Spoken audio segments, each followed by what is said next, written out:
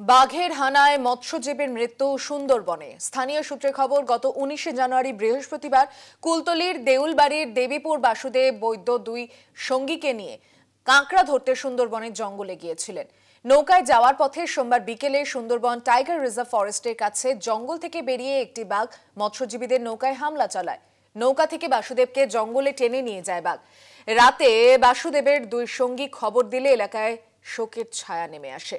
মঙ্গলবার সকালে বাসুদেবের প্রতিবেশী ও স্থানীয় মৎস্যজীবীরা দেহ উদ্ধার করে গ্রামে নিয়ে যায়।